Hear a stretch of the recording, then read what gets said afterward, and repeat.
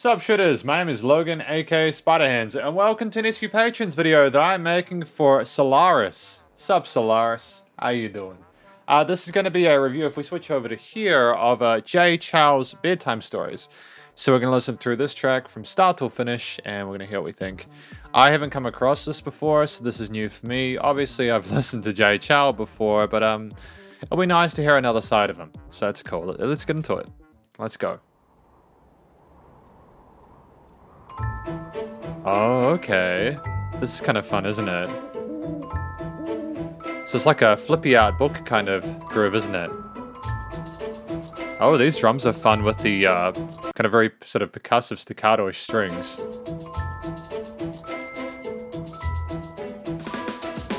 And you've got that uh, music box kind of vibe there, which puts people to sleep like a lullaby. That's a nice touch as well.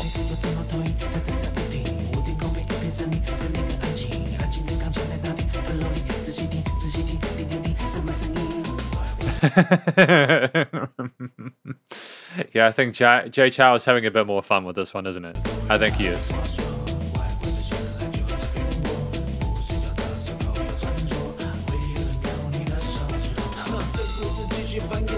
Got the clean vocals as well, and we've got some rapping here. Really slick transition to it with this additional accompaniment of like a filtered synth on top as a sequencer. On the sides, that's kind of dope. I like the decision there. Just Solaris did provide me with lyrics as well, which I appreciate. So we're gonna have a look at the translations after the video. But um, the music's hella engaging at the moment, you know.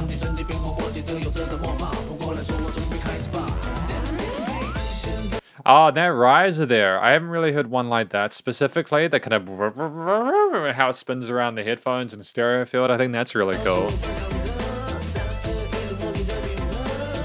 A man that can rap, sing, and dance, dude. He's got it all, hasn't he?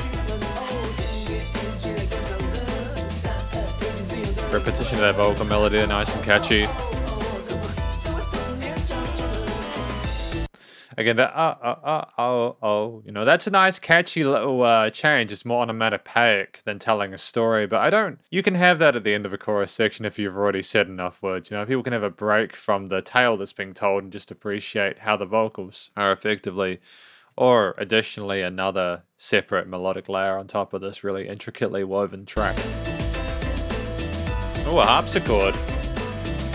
Smart move here, nice bit of development for this uh, second, for the second act. Oh, that's kind of creepy, isn't it? Oh, how do they... Oh, that's like a trick that they can do where they like, um, I think they, they, they either use strings to be able to get that kind of effect or they have them like, like they might have flip the camera like 90 degrees. So they're actually on the floor but they're like making it look like they're standing. I, I don't know how to describe it.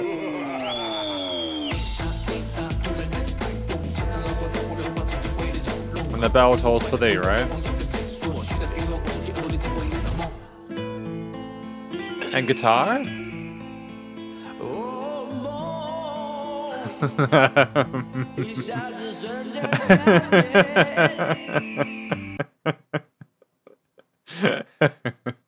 I haven't heard anything like this before. Um, Jay Jay is just going on his own little trip, his own little adventure here. I was advised that this is a little bit different from Jay's usual kind of stock of like ballads and, and such. Um, you know, people have told me that his music isn't as good after his like um after his tenth album or after 2013 or something like that. I think this was released in 2016. This is plenty fine for me. And I really enjoy this. It's got a great personality to it. You know, even his even if his voice isn't as quote unquote strong as it used to be, or it you know it isn't the same. Again, people age, so you're never going to have the same voice, are you? That's part of that's part of being human is that you don't have the same voice your entire life. You know, regardless of, of what you've you've had in terms of ailments.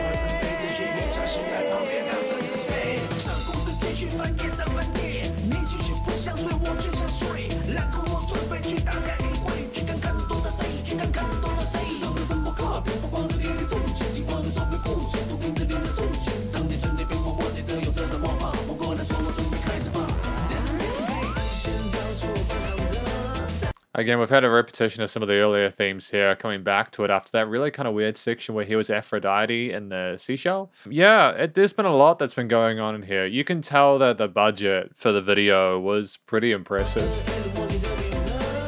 It's not cheap to make a video like that. But then it is Jay Chou, so he can do it, you know?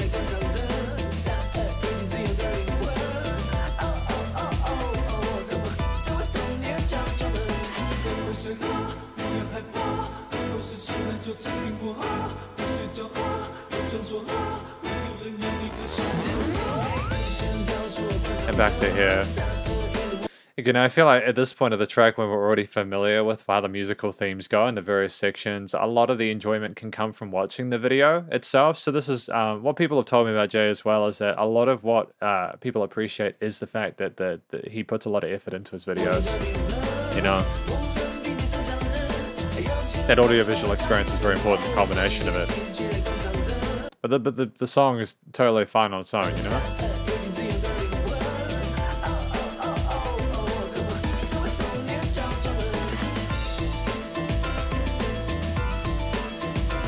A lot of effort has been put into this video. I have to, uh, I have to respect that. The the song itself is great.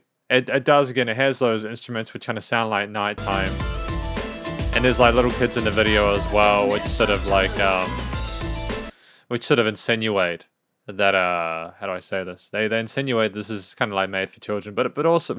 But also at the same time, got these spooky elements and these weird sort of references, and I'm not really sure how to interpret it, to be honest. That's why I'm glad we've got the um,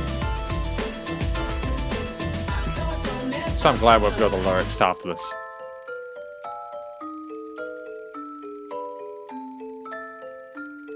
In that music box to finish it out. 99 kids.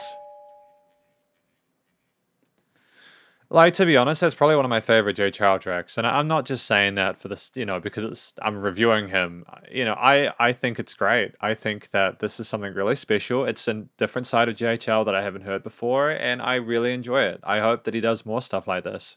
As I may or may not have mentioned before, I'm going to be reviewing every single Jay Chou studio album as part of a big, big review once we get to 10k subscribers. I will be listening to stuff like this, and I really hope that Jay does more of this in future. Um, it gives me hope when I hear tracks like this. So thank you uh, to Solaris again for for, for the suggestion for your first SP Patrons video. But um, uh, we'll get into lyrics. It is told like from this perspective of someone telling a child a bedtime story. You know, once upon a time there was an owl that stood at the top of the house. There was a huge forest behind it, and it was quiet. There was a piano in the sitting room in the attic. You know, what was that sound? It's got that playfulness there which sort of insinuates that yeah, you're, you're not just talking to an adult about this. This is literally something you could talk to kids about. You know, when you wake up, eat an apple. When you don't sleep, there is a legend. Someone would bite your little fingers. Yeah, see, it's playfulness. It's spooky. It's fun. You know, Jay's having a great time with this. It's um, there's nothing weird or raunchy about it. It's it got a sense of really. It's got got a wholesomeness to it. You know. You know, talking about grandfather clocks, the antiques, the oil paintings on the wall. Trying to figure out who's in the wardrobe, see who's hiding there, to see who's hiding there. Bedtime stories that make people jealous. Yeah, well, I mean, if you can tell bedtime stories that are that effective, you're probably onto something, right? I'll return to the childhood knock on the door. Oh, it's just kind of like looking back at ourselves, trying to find that sort of sense of uh, wonder and, and innocence that we had as children. Maybe trying to find that excitement that we had there when we're when we're not completely jaded adults. Return to the childhood knock on the door. Return to the childhood knock on the door. I can hear that in the um song and that bum bum dun dun bum. You know that that re- that hook line is repeated, and I I dig it. Bedtime stories, great track. Because this is of course the conclusion for my review of um Jay Chou's track uh, bedtime stories. Um, I I thoroughly enjoyed my time with it. You know, I, I'll remove the video element of it for now, and I'll talk about my time with the music. The story itself, yeah, we've already talked about story within the lyrics. It's, it's basically Jay Chou trying to tell a story that like uh, like a bedtime story to a child, but also acknowledging that adults probably appreciate as well, and we need to not take things too seriously and return to the childhood and open open the pathway back to our own youth and um, vitality. Uh, I, I liked the way that Jay Chou sung and, and rapped. You know, it's on par with re- previous stuff again, I think a lot of people are really harsh about the way that Jay Chou performs or sings or raps nowadays. I still, I think it sounds great. As someone who's reviewed thousands of songs, I would say that Jay Chou is definitely up there with a lot of the best people I've reviewed. Um, even if his voice isn't the same as it used to be, you know, he still shows great technique. And again, people get older. This was released 15 years after Jay, the original album, so it's fine if he doesn't sound the same, you know? I, I think the words did come through clearly enough, although saying that, I'm not familiar with the native language that he was speaking. I had the translation there to help, but um, you know, even if he was mumbling occasionally, it didn't wasn't a detriment to the experience, and I'm, I enjoyed it nonetheless. Um, the storytelling was interesting, and Jay knew how to emote appropriately to the, the, different sections. Like I could tell which parts were referencing which in the song because of the way the lyrics were and how he changed his his approach at different parts. I also enjoyed the composition, you know, like, but actually not the composition. Usually I do that last. Like the, the structuring was a traditional, you know, verse chorus verse chorus structure with a an interlude at the end, like afterwards with that like clamshell kind of thing where he was with the people kind of smiling back at the screen. And then he, he went and repeated that chorus refrain a few times and kind of wrote on that hook line. And that was basically the track, you know, we had lots of different instruments like drums, bass, some guitar parts like into that interlude part, piano, sort of like harpsichords, different synth parts as well. Very contemporary production, but it, it still had dynamic range. It wasn't pumping or anything like that. And of course, the production, the recording, mixing, mastering, you know, Jay Chou is, is on form here in regards to the post-production as well. And most, if not all, of the stuff I've heard from Jay Chou has been expertly crafted in that part of uh, part of things, and this is no different. It sounds like a thoroughly sounds like a major label release, major label record, and um, you know the EQing, stereo panning, the automation there, the, the the effects change on the different parts of the mix there, like the reverbs and the really bright kind of starry tones to some of them. Things were stacked on the frequency spectrum. Uh, the limiting compression was great. Got no complaints about that. Really, really awesome song. Um, but yeah, thank you very much for watching this SP Patrons video. Uh, this review of Jay Chou's Bedtime Stories. Hopefully enjoyed it. Thank you to Solaris as well for, for requesting that I uh, review this one as an SP Patron video. If you enjoyed this track, please do go show Jay Chou some love via his various social medias and his YouTube page. Stay cool and stay safe, and please also remember to support your local musicians and artists at this point in time. You need help more than ever with all the crazy stuff going on in the world, and I'll catch you in the next review. Spiderhands up.